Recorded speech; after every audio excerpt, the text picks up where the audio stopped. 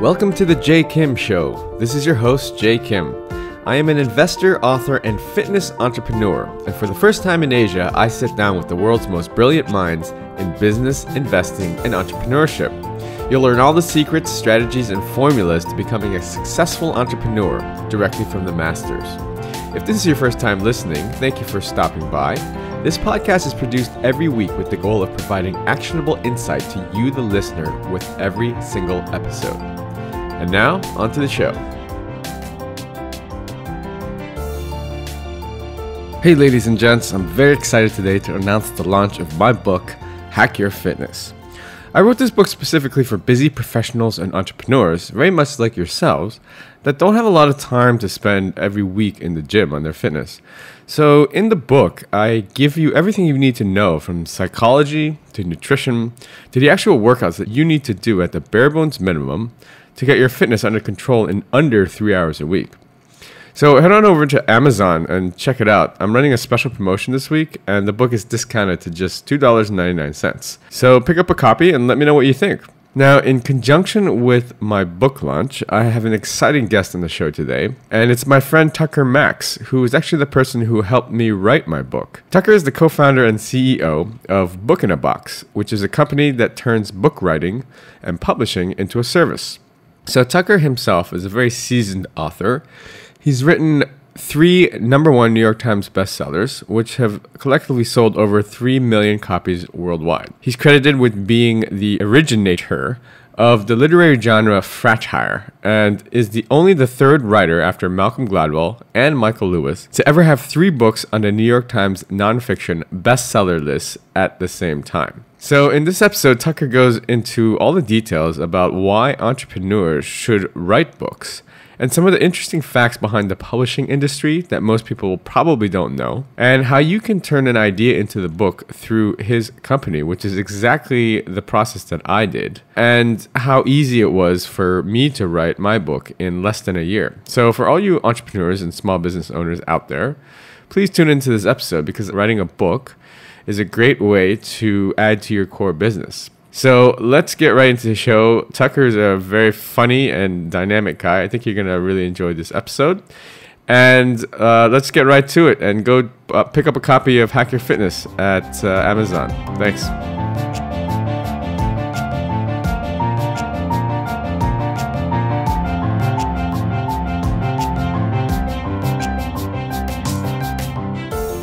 Tucker, thank you so much for coming on the show. We're excited to have you here today, and uh, it's particularly exciting because I'm launching my book this week. So I think it's very special that the person that actually helped me write my book is on the show. Uh, so for our audience out here in Asia uh, and listening around the world, why don't you just give us a quick introduction uh, of who you are and what do you do? So uh, my name is Tucker Max. I co-founded the company Book in a Box that that you use to write your book. I mean, I like I wrote three number one bestsellers. You know, I've had a movie made about my life, but that's kind of like a different part of my life. Right now, I'm mainly focused on Book in a Box. Right. So for the audience that's listening, you guys can just Google search Tucker Max, and you can read all about his other uh, stuff in his past. But he is doing exciting things now at Book in a Box, which is uh, what I'm. Uh, you know, it's affected me the most because it's actually helped me write my book. So why don't we jump straight into talking a little bit about Book in a Box? Exactly how did you uh, come up with this idea? I mean, you obviously have a background in in writing. You were a very successful author, and you had some background in publishing as well. Is that right? Yeah, right. So, uh, I, uh, I, mean, not background really. I just uh, I wrote my first book in 06 and and and I was writing on the internet. Like I was one of the very first people to kind of write good quality stuff and put it up for free on the internet in like 2001, like back before MySpace even existed. Mm-hmm. And, and, so like I've been doing this for yeah, I'm coming up on 20 years now. Wow. And then uh, so basically the, the, the whole thing started. It, like I wish I could. You know, everyone has this image that entrepreneurs are like these successful entrepreneurs have these flashes of genius and, and insight and they you know come down from the mountain with their their amazing companies already done and that's just not what happens and i think my story is actually a really good example of that it, like i almost it's kind of funny uh, i almost had to be um, beaten into doing a successful company. And so, like, I'll tell you the story. I was at I was at this entrepreneur dinner, and this woman comes up to me, and at this point, you know, I'd already written three number one bestsellers. I'd sold millions of books. I was well known as an author, hmm. but I didn't have a publishing company really or anything, uh, at least nothing s- substantive. And so she she said, you know, like, hey, listen, I people have been asking me to write a book for a decade. Uh, I don't have the time or desire to sit down at a computer and type this thing out but but my book would help people and, and, they want it how can i get this thing out of my head without having to go through the normal process? Mm-hmm. and so i kind of looked at her and i said hold on. So you're asking me how can you write a book without writing it? Right. And she said yeah actually i like i kind of am.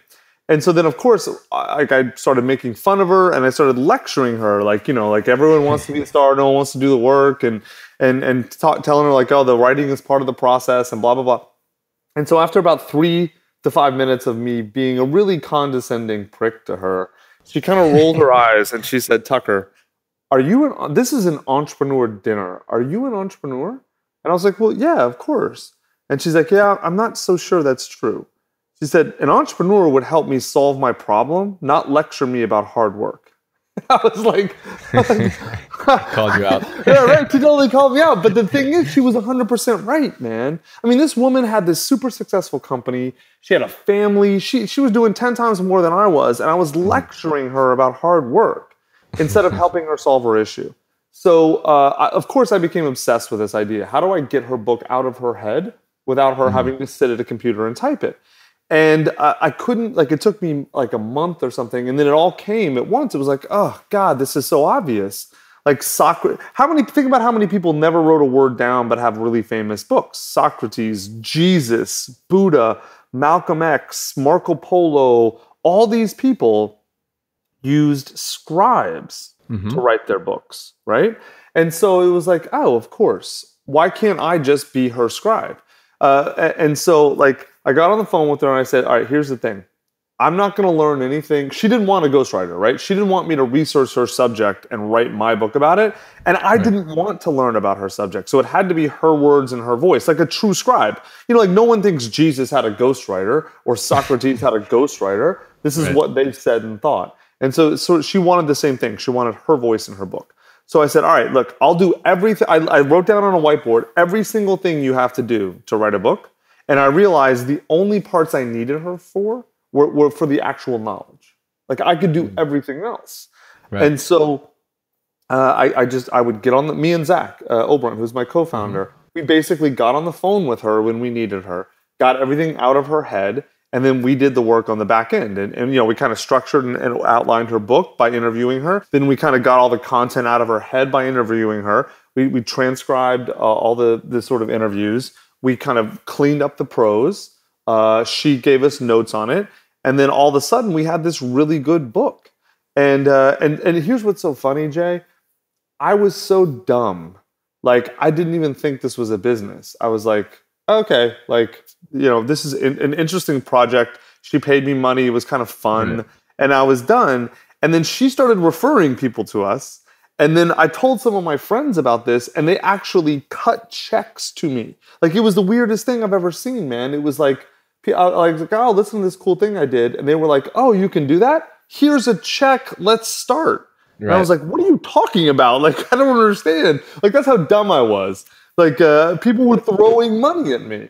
Yeah, but the thing is, at that point, you hadn't, you probably hadn't thought about how can we scale this because I, I imagine, you know, your clients one, it, you must have put in quite a significant amount of work. You must have created a great book, and you probably didn't streamline it just yet. So maybe at that point, you probably would have been like, I don't know if I could do, you know, hundred of these, no, these no, a year. Right? You're being too kind to me, Jay. Like it wasn't even about I wasn't sure if I could scale it. I was so dumb. Like, like, dumb, like, I blind is the right word. I was so blind, it just didn't even occur to me that this was a business. Because right. in my mind, this is not how writers write books, right? Because right. that's not the way I had ever done it. So I just, I like, I had a, a blindness in me. And then I went on Lewis Howes's podcast mm-hmm. to talk about something totally different. And Lewis is very dyslexic, mm-hmm. and he had just finished his book, and he had a conventional ghostwriter. Use my buddy Niels Parker, And we were talking about that process, and I was like, "Oh, Lewis, I wish you know, like, you had called me. We talked about this earlier, and I told him about this kind of new thing I was doing with this woman, and I wasn't like pitching this as a company." But Lewis is like, that's the best idea I've ever heard. What do you call it? and Zach, the day before, had joked with me like that we're doing a book in a box with her. And so, like, I said, uh, we call it book in a box. Like, we didn't even have the name at that point. And and Lewis is like, oh, it's such a great idea. All my fans go check this out. And, and I didn't really think more. We continue with the podcast. The next day, I got an email about book in a box, and which made no sense because I knew the podcast wasn't out. And I'm like, dude, who are you? Like, like, how did you know about this? And the guy was like, oh, sorry, man, I'm Lewis's podcast producer. I was just wondering where I could find, you know, like book in a box and, and, and look at it and maybe sign up. And I was like, Zach, dude, this may be a company. And Zach's like, you know, Zach's smarter than I am. Zach's like, of course it's a company, you idiot. Why do you think we were doing? So then we put up a landing page and then we did like $200,000 worth of business in the first two months. And I was like, that's Jay. That's when I started thinking about scaling and started hmm. thinking, oh man, how do we get? Then, then we started hiring freelancers, and then you know now two and a half years later, we've done 450 books, and yours is about to come out. Okay, so let's take a little bit of a step back, Tucker, because you have a lot of experience in the traditional publishing world as well. So why don't you just uh, quickly? I know there's a lot to it, but if you could quickly summarize the differences, uh, maybe just quickly run us through how a traditional publishing uh, model works and how that differs from now the other end of the extreme, which is self-publishing, where any Joe Schmo can just type up an ebook and publish it on Amazon, and then how you guys are sort of in the middle somewhere, right? Right. So so there's uh, you're exactly right. There's a like a long. It's a very deep, complicated, weird subject. Books are, and if you go to bookinabox.com, we have a blog, and there's a piece that that that runs you through all of the the in deep detail. What are the three ways to publish? There's three basic ways. There is traditional publishing, there's professional publishing, and there's self-publishing. Right. So traditional is like uh, what most people think of when they think of books. They think of like Random House or Simon and Schuster or the big companies. Right.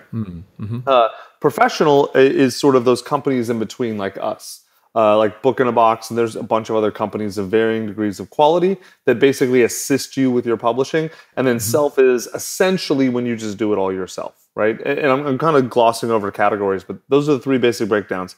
And there's really only two things you need to think about, two things that differ: who owns your book, and who does the work Right. of creating the book, right? So in traditional publishing, they completely own your book.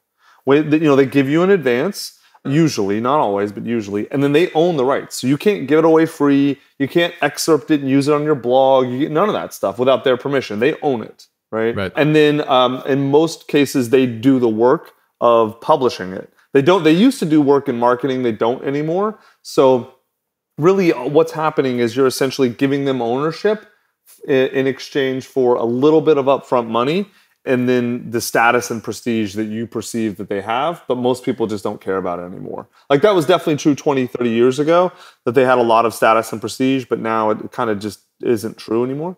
Then the middle option which is professional publishing you own all it, it kind of varies but like with us like your book you own it fully. So if you want to give it away free you want to charge $100 for it anything you want you can do.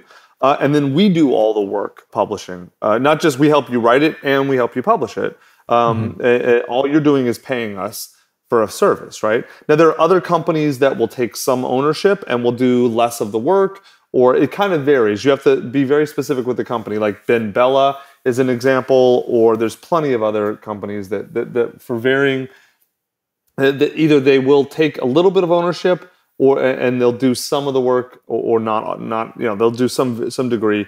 We're kind of at the extreme we do all of the work and we give you all of the ownership and you pay us Right. So what, with the traditional publishing, when you let's talk economics real quick. So when you say that they own almost everything, literally, what percentage of royalty does the author actually get? well so even more important than royalty they own the rights so so Okay. like you cannot this cannot be printed or reproduced in any form without their explicit permission right Wow. so now, now the royalties uh, in, in america the royalties are very common it's uh, the author gets 15% of hardcover seven and a half percent of paperback. And does the advance that's uh, uh, separate from the advance, or the advance gets that's separate from the advance? But the okay. the advance is, is, like basically they give you money.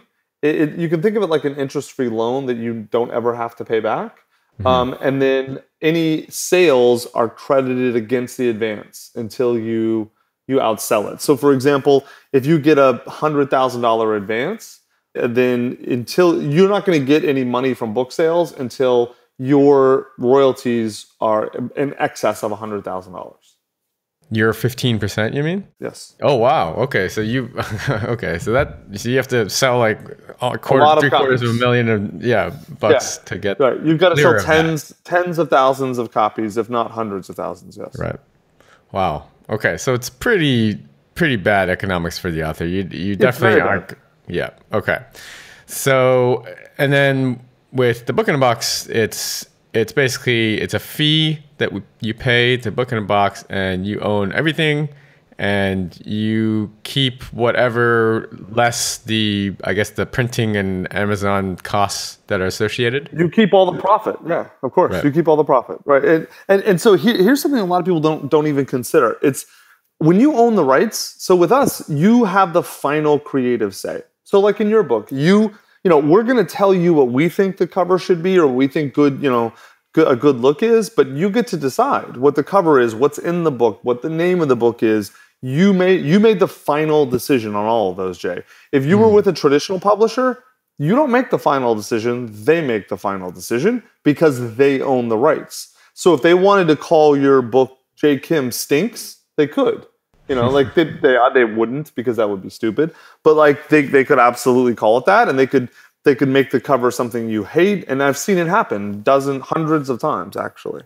Right, and so as someone that has been has gone through that side of things, is there? Here's a question for you, Tucker. Is there a sort of uh, hierarchy, so to speak, within even traditional traditional publishing, where people who uh, people look down on people that use ghostwriters versus uh, I mean, is there there must be some sort of unspoken hierarchy, right? Yeah, I mean, it kind of depends. So, writer people who are professional writers, like like I used to be, mm-hmm. it's like every group of people thinks that their their group is the best. You know, I mean, like the story I told at the beginning of the show about about how I looked down on Melissa because she was asking me how to figure out figure this process out. That that's it's embarrassing for me to admit it, but that's like that's the normal attitude for writers, and most writers aren't embarrassed by that. They think if you if your fingers are not the ones touching the keyboard, that like you are somehow invalid, right?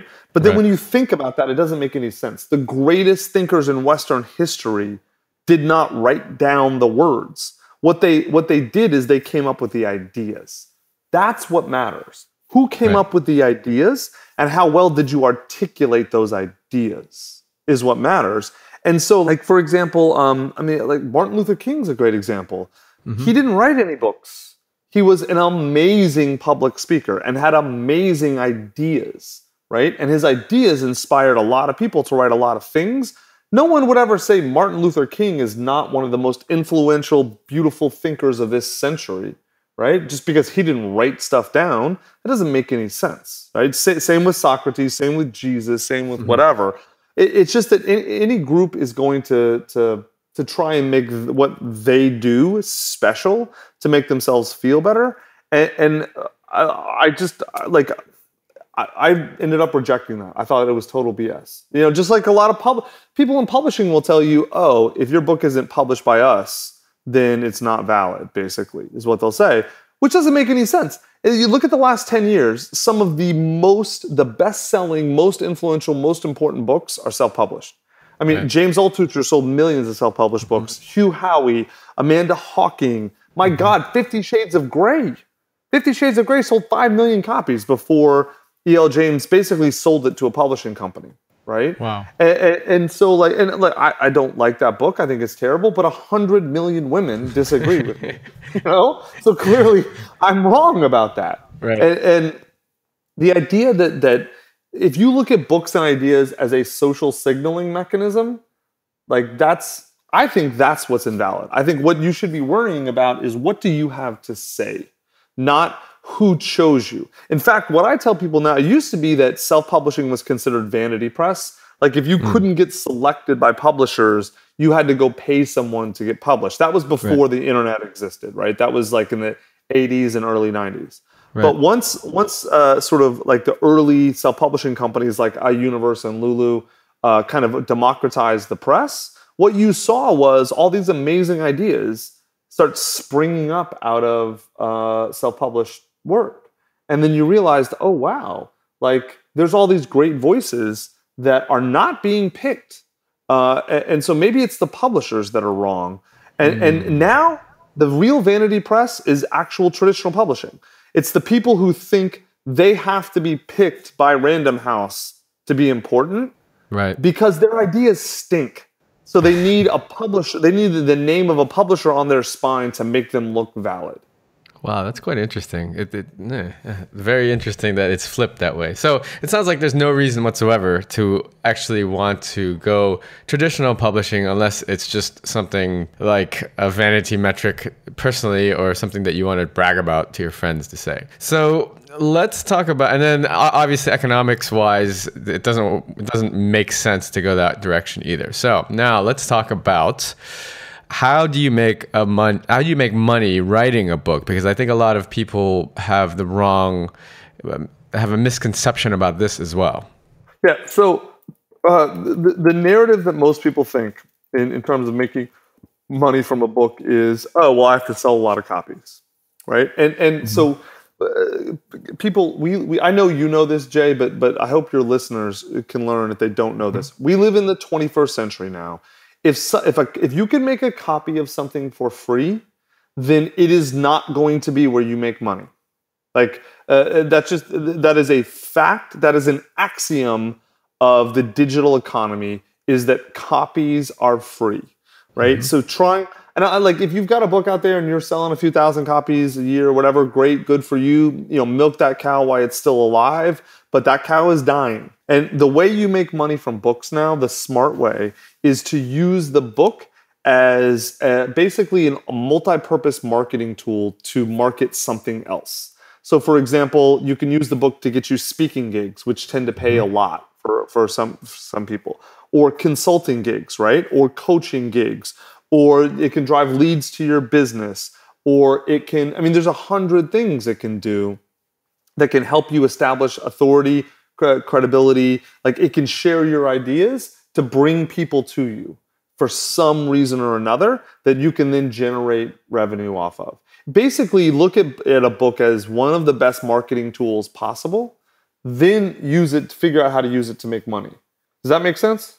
Yes, absolutely. And I think it makes sense if you have, if it's just a, like you said, a, a marketing tool or a business card. You, you like to say it's it's the new business card, right? Of it's like an ancillary marketing tool of your core business that'll drive revenue to your core business, uh, or, or yeah, get you speaking gigs or or other open other doors for you. It certainly builds credibility when you have, uh, you know, a, a, book, whether it's you know, uh, it, it's it could be something very in a very niche uh, segments that maybe only you and a handful of others know about. Actually, but... the more niche, the better, Jay.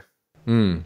Yeah, yeah, yeah. Actually, yeah. So let me. I'll explain why. So, so uh, here's the thing: if you want to be a famous self-help guru, I mean, good luck, because you're competing against. Now you're competing against Tony Robbins and Dale Carnegie and Tim yeah. Ferriss. You're competing against the titans now, right? Right. right. But if you want to be the self-help guru to pregnant women living in Hong Kong, right? Mm-hmm. You got no competition. Right. And there's probably a lot of pregnant, I'm assuming, I don't know, but there's probably a lot of pregnant women in Hong Kong. But if you're going to be the, the woman who teaches pregnant women, like you take all the stuff that, that, that pregnant women should be doing and then you, you make it specific to Hong Kong, like these are the five doctors you need to see. These are the three places to avoid. These are the five midwives I would recommend. These are, right. you know, whatever, right? Then now every pregnant woman in Hong Kong, instead of going to some international uh, person, you know, Tony Robbins or some woman who's famous for helping pregnant women all around the world, like, you know, whoever, Dr. Spock or whatever, you go to this woman because she speaks to you specifically. She she helps you she knows you who you are right so right. many of our authors what we do is we recommend that they they try and position their book wide because they want to impact the most number of people, but uh, they want to go wide and shallow. But what they end up doing is go narrow and deep, and then that ends up helping them substantially more than trying to hit everybody. Because if you if you no one almost no one has something to say to everybody, but almost everyone has something important to say to a small number of people. That's right. Yeah, absolutely. Uh, you hit the, the, nail on the head there. So, okay, all right. So, let's say Miss Female, Miss Hong Kong Tony Robbins is, sold. She's like, okay, Tucker, I, I, I want to write a book. I want to reach my my audience of uh, 200 Hong Kong pregnant women, and I want to make an impact. So let's go. Let's sign up with Book in a Box. I want. Let's walk through exactly what the steps are because I want the audience to actually know just how easy it, you know the the process was for me personally. So can you just walk us through how that works? Yes. Okay. So uh, basically. Now, uh, just to let your viewers know, you guys can go to bookinabox.com slash book and you can actually put in your email address and we'll send you a copy of our book for free which mm. kind of details our entire process but because uh, you can do it yourself i mean our, we charge 25 grand is sort of the base price now um, so it's expensive but um, but you can do it you can do this yourself just as easily uh, not just as easily but you can do it yourself mm-hmm. basically we start by positioning your book first so the fir- what we do is is we begin by asking you questions like like there's three main questions to understand when you're starting a book why are you writing this book? Meaning, what result do you personally want to get? Like, mm-hmm. what's the thing, your ROI? The thing, not not not the, for the reader, for you. You got to understand what you're looking for first. Right. Then you need to understand what audience do you have to reach to get that. Then you have to understand what you have to say that's relevant to that audience. So if you want to be the self-help person for Hong Kong pregnant women, right? Then then understand the first thing what why are you doing that? Because you want to to coach and consult and sell products and and uh, and build a business around serving those people. That's your goal, right? So the audience are pre- uh, women who are pregnant in Hong Kong and uh, what you have to say is essentially I'm just kind of spitballing here. You're repackaging all of the best pregnancy advice in a way that is specifically relevant to women living in a you know 10 mile radius or right. I guess less in Hong Kong's case, right? And so like like that, that, now you understand, now you have positioning for your book. Now you know mm-hmm. what your book is, what you're trying to say, who you're trying to reach. And so we start there and then from there we kind of help you build a structure, what exactly are you going to say? And then we build an outline. And we uh, you're not doing anything in this case, if you're a client of ours, except you're on the phone with us, we're interviewing you. We, we have a pretty specific way that we go about asking these questions. It's almost like an algorithm. For, for you as an author, all you do is just answer questions and talk about what you know. For us on the back end, like we, we uh, you know, we we use all your answers to kind of build out first the positioning, then the structure, then the outline. Mm-hmm. And so then what we end up with is about a 15 to 20 page outline that details exactly what's it's exactly what's going to be in the book. It's the architecture for the book. Mm-hmm. So from that point, then you know you look at it, you approve it. You, are like, uh, then we move on. Then we, someone else, we bring a different person in, someone who's a very skilled interviewer, usually a journalist, and they interview you off of that outline, right? And and so they get everything out of your head, everything you have to say uh, about uh, all of the subjects in your book. Uh, that usually is about maybe five, six, seven calls, about an hour and a half to two hours a piece. Mm-hmm. We record all those calls. We then get that that recording transcribed, and then uh, that that same interviewer, you know, is also a writer. They essentially edit that transcription into book prose. It usually takes a couple rounds, but their job is to end up with a book that is completely your ideas, that is uh, all in your words and and in your voice. Right. right? So because we're not like we don't know shit about pregnant women in Hong Kong or about like how to sell tractors in Nebraska or right. about any of these things that we do books on. But what we do know is how to structure information, how to how to create a book, and how to write. So uh, you come out of this with a book that is everything you're trying to say in your voice, but you didn't have to sit at the computer and type it all out. Right. So so there's a percentage of people that might not have the expertise that's necessary, and that's another thing that you have to suss out during the initial round, right, of yes, interviews. Yes. Yeah. So our process does not work if you don't know what you're talking about. We don't right. add content. That's the really the essential thing that makes us different than ghostwriting is we're not adding content and we're not adding mm-hmm. ideas. These are your ideas and your content. Mm-hmm. Right. Okay. So yeah, I mean, I, I went through the process. I, it was it was very quick, very streamlined. Uh, I think the outlining part was the hardest part, and I think that speaking with other authors that have gone sort of traditional that sort of route, that's the hardest part. Is is actually for setting up the framework for it, and then once this that structure is in place, the filling in the blanks is usually much quicker. Okay, and then so what happens after that? So then we do all the publishing. We kind of guide you through the process, although we do all the work. So you know, we'll we do the interior layout, like you know how like the the book the book design. Then we do the book cover, and you know you'll we we kind of we have a whole process where we put you through like you know you tell us the book covers you like, the designs you like, the ideas you have. We come back with three to five uh, comparative co- covers you can look at. You know you give notes. We go, go back and forth on that we do all of this sort of marketing materials surrounding the book.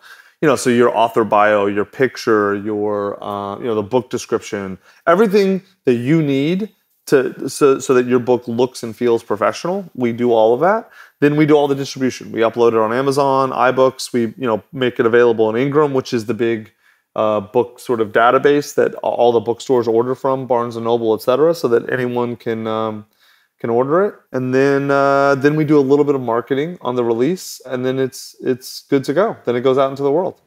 That's awesome. I mean, so personally, uh, the, the, the thing that I liked about it as well is that during the editing process and sort of the the, the follow up with the book covers and stuff like that, as the author, you can be as involved as you want to be. And some, I guess, some authors are very hands off, and they're kind of like, okay, I got the idea done. I'm, I'm out. I have busy. I'm busy. I have other things to do. Other authors, I, I believe, would want to get more involved, and that was the case with with me. My my experience is you know, I, I, I, really sat down with the editor and I went back and forth, and they were great, you know, very patient with me, making, you know, amendments after amendments and edits after edits. And, you know, we did we did uh, like three or four rounds of covers, and I was uh, I'm I'm pretty anal, so you might have heard from you guys that uh, I was a pain in the ass, but uh, in the end, it came out great. So I was very happy with the finished product, and uh, yeah, I'm excited. I'm so, I'm excited for it to uh, to all come to fruition. So thank you for your help with that, Tucker. I, I appreciate it. Of course, that. man. It's our pleasure. It's our job. So, uh, thank you for being on the show. Last couple questions, Tucker. Thank you for explaining the process and educating our audience. I'm I'm I'm pretty happy that uh, that you got to come on and and and share this. What what does what do you guys have in store for Book in a Box in 2017? What sort of goals do you have for your company? Man, um, right now our job is growing now is really we're in the scaling phase where it's like oh we've got so much work to do. Mm-hmm. we could we could be doing probably 100 books a month but we don't like the demand is out there at least for that maybe even two or three or four times that. But we just don't have the structure for that yet. So we're kind of building a structure to, to be able to to take on a lot more work. You know and then not just maintain quality but ideally we'd like a structure that actually improves as it gets bigger which is hard to build but doable and then we're also going to start expanding into other sort of uh, fields because at this point we've worked with 450 plus uh, authors, and a lot of them want more than books. Uh, they mm-hmm. want you know blog posts, they want video stuff, they want podcasts, they want all these other things. So we're going to start rolling out these other offerings. Uh, kind of slow at first with a few people, and then just build and build and build our goal is eventually to be the company that that anyone comes to to turn their ideas into finished media products right? So like if, if you want to start a podcast or write a book or do whatever you're going to have three options. You either do it yourself you go try and find people to help you and hire them and manage them which is a huge pain in the ass or you just come pay us and we do all the work to turn your ideas into finished products. In a box. Yep Awesome. Great. And uh, where is the best place uh, my audience can find you, connect with you, maybe learn a little bit more about Book in a Box and uh, get that that book that you said that, that you're giving away? Yeah, it's probably just bookinabox.com. Uh, bookinabox.com slash book should um, give the book away. And then the site, the site's pretty good, pretty comprehensive. Um, has everything people should need on there. Yeah, great. All right. Well, thanks so much, Tucker. Really appreciate you coming on the uh, the show, and uh, excited for the book launch. Definitely. Thank you, man. Thanks for having me. All right. Take care.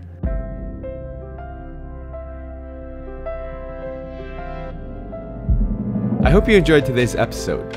All the show notes and links can be found over at jaykimshow.com. Come back often and make sure you subscribe, rate, and review. Don't forget to join us next week for another exciting episode of The Jay Kim Show. I'd love to hear your comments. You can find me on Twitter at jaykimmer, J A Y K I M M E R. See you guys next week.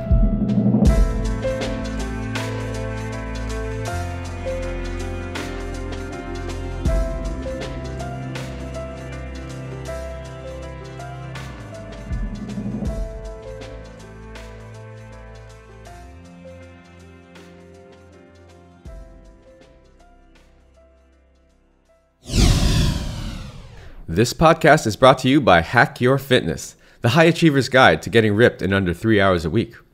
If you're anything like me, you're probably working a full time job or jobs and trying to find time to balance family life, social life, and last but not least, fitness. Look, I get it.